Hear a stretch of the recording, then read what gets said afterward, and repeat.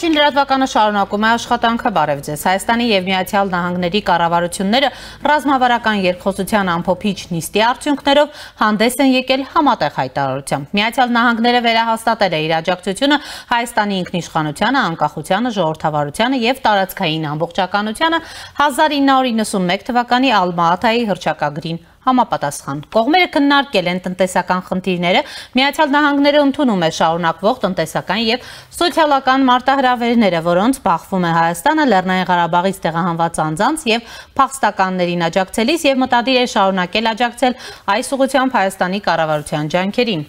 Հանդիպման մասնակիցներն ընդգծել են Միացյալ Նահանգների աջակցության կարևոր դերը Հայաստանի պաշտպանական ոլորտի վերափոխման եւ իրավապահ համակարգի զարգացման նախաձեռնություններում։ Պայմանավորվել են նախաձեռնել Հայաստան Միացյալ Նահանգների կողմ պաշտպանական խորհրդակցություններ պաշտպանական համագործակցության նպատակները նախանշելու համար։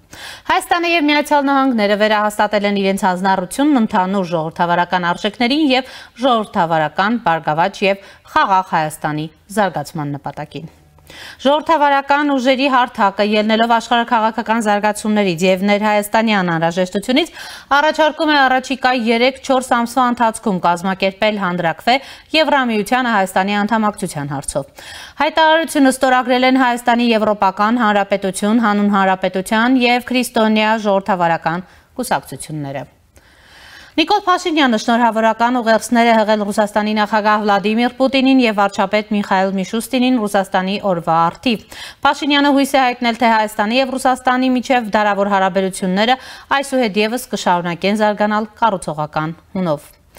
Վարչապետ Նիկոլ Փաշինյանը ազգային ժողովում է, որտեղ կայանալու է կառավարության հետ հարցու պատասխանը։ Այս պահին, սակայն քննարկում են բյուջեի կատարողականը։ Բագրատ Գալստանյանի գլխավորած շարժում այս գիշերել է անցկացրել Բաղրամյան պողոտայում։ Երեկ երեկոյան ամփոփելով օրվա անելիքները Գալստանյանը կոչ է արել ժամը 15-ի հավաքվել Բաղրամյան պողոտայում չափազանց կարևոր գործ ունեն։ Այսօր կառավարության հետ հարցոպատասխանի օրն է։ Սպասում եմ, հորդորում եմ, պահանջում եմ, խնդրում եմ, ինչպես կուզեք անունը դրեք, ով ոնց սրտին կպնում է, թող այդպես էլ զգա վաղը ժամը 3-ին եւ 3-ից սկսած այստեղ լինելու եւ մեր խոսքը ասելու Զինված ուժերի գլխավոր շտաբի պետի տեղակալ Արթուր Երոյանը տեսակապով մասնակցել է գլխավոր շտաբների պետերի ձևաչափով ՆԱՏՕ-ի ռազմական կոմիտեի նիստին։ Հանդիպման նպատակը միջազգային եւ տարածաշրջանային հրատապ խնդիրների ՆԱՏՕ-ի եւ գործընկեր պետությունների միջև համագործակցության հարցերի քննարկումն է։ Գեներալ-մայոր Երոյանը կարևորել է ՆԱՏՕ-ի հետ համագործակցությունը Հայաստանի պաշտպանության ոլորտի կերպարափոխման գործում եւ վերահաստատել հանձնառությունը շարունակելու մասնակցությունը ՆԱՏՕ-ի ղեկավարած խաղ խաղաղապահ առաքելություններին։ Զինված ուժերի գլխավոր շտաբի պետ Էդվարդ Ասրյանն էլ Գերմանիայում ընթացող Եվրոպայի ցամաքային զորքերի հրամանատարների համաժողովի շրջանակում հանդիպում է ունեցել եվրոպացի զինվորականների հետ։ Հայաստանի պաշտպանության նախարարի տեղակալը եւ Ֆրանսիայի ցամաքային զորքերի հրամանատար Պիեր Շիլը քննարկել են համագործակցության հետագա զարգացմանն առնչվող հարցեր մասնավորապես փորձի փոխանակման եւ անձնակազմի պատրաստության ուղղություններով։ Ձեռք են բերվել պայմանավորվածություններ համագործակցությունը զարգացնելու ուղղությամբ։ Գեներալ լեյտենանտ Էդվարդ Ասրյանը հանդիպել է նաև Հունաստանի ցամաքային զորքերի հրամանատար գեներալ լեյտենանտ Գյորգյուս Կուստիդիսի հետ։ Քննարկվել են փոխգործակցությանն ու զինծառայողների վերապատրաստմանը վերաբերող հարցեր։ Ազգային ժողովն առաջին ընթերցմամբ ընդունել է ոստիկանության գվարդիայի ստեղծման մասին նախագիծը։ Ներքին գործերի փոխնախարար Արփինե Սարգսյանը նշել է, որ դրա ընդունման ընդունմամբ կստեղծվի ոստիկանական ծառայություն ժամանակակից եւ միջազգային չափանիշներին համապատասխան սպառազինությամբ։ Մրցակցության պաշտպանության հանձնաժողովը թույլատրել է Արչին բանկ եւ HSBC բանկ Հայաստան բանկերի համակենտրոնացումը եզրահանգելով, որ այն չի հանգեցնում մրցակցության սահմանափակմանը, սպառողների շահերի վնաս ստեղծմանը մարտի 27-ին հանձնաժողովը հարուցել էր համակենտրոնացման գնահատման վարույթ։ Սահմանադրական դատարանը վարույթ է ընդունել Վճռաբեկ դատարանի դիմումը մարտի 1-ի իրադարձությունների վերաբերյալ Յուրի Խաչատուրովի, Սերյան Օհանյանի, Ռոբերտ Քոչարյանի մեղադրանքների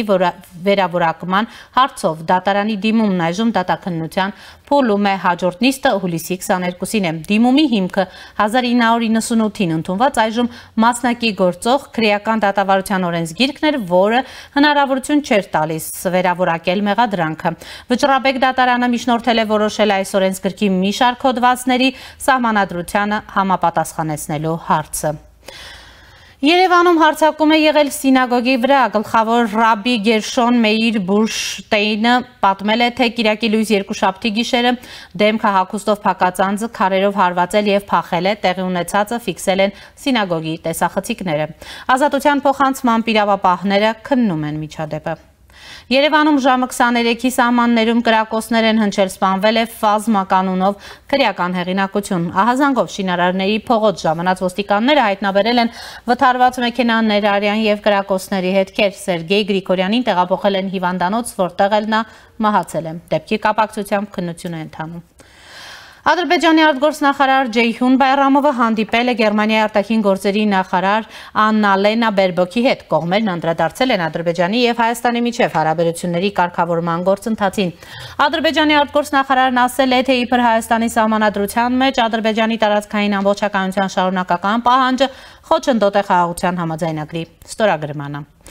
Ադրբեջանի նախագահ Իլհամ Ալիևը ուղերձ է հղել Վլադիմիր Պուտինին Ռուսաստանի օրվա արդիվ, ասել, թե Բաքուն բարձր է գնահատում ռուս-ադրբեջանական գործակցության ներկա մակարդակը, որը դաշնակցային բնույթ ունի։ Երկու ժողովուրդների միջև դարերի ընթացքում ձևավորված բարեկամության եւ բարիդրացիության ամուրավանդույթները Ադրբեջանի եւ Ռուսաստանի միջև հարաբերությունների շարունակական զարգացման հուսալի հիմք են հանդիսանում, նշված է Ալիևի ուղերձում։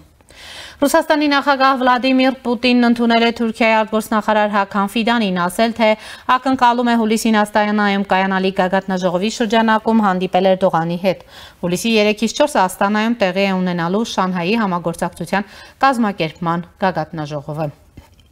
Ադրբեջանի պաշտպանության նախարարությունից հայտնել են, թե Նախիջևանում տեղակայված ադրբեջանական բանակի ստորաբաժանումները հունիսի 12-ին մարտավարական զորավարժություններ կանցկացնեն։ Զորավարժությանը կներգրավեն մարտական տեխնիկա, ավիամիջոցներ եւ անօթաչու թռչող սարքեր։ Ադրբեջանի եւ Իրանի միջև ձեռքբերված պայմանավորվածության հիման վրա մարտավարական զորավարժությունները միաժամանակ կանցկացվեն նաեւ Իրանի տարածքում իրանական բանակի համապատասխան ուժերի եւ միջոցների ներգրավմամբ։ Թուրքիայի նախագահ Ռեջեփ Թայիպ Էրդողանը 18 տարի անց այցելել է գլխավոր ընդդիմադիր ժողովրդա հանրապետական կուսակցության կենտրոնակայան։ Էրդողանն ու ընդդիմադիր կուսակցության ղեկավար Օզգյուր Օզելը բանակցել են փակ դռների ետևում։ Ակնկալվում է, որ Էրդողնը օրակարգ է բերելու նոր համանadrության հարցը, որի մասին երկար ժամանակ խոսում է, իսկ Օզելը տնտեսական զարգացումները։ Ֆրանսիայի նախագահ Էմանուել Մակրոնը բացառել է իր հրաժարականի հնարավորությունը անկախ հունիսի վերջին կայանալիք արտահերթ խորհրդարանական ընտրությունների արդյունքներից։ Ֆիգարոյի հարցին, թե հնարավոր է արդյոք իր հրաժարականը խորհրդարանական ընտրություններում ազգայնականների հաղթանակի դեպքում Մակրոնը նշել է. ազգային միավորումը չէ, որ գրում է Ֆրանսիայի սահմանադրությունը։ Այս ժամի համար այսքանը կհանդիպենք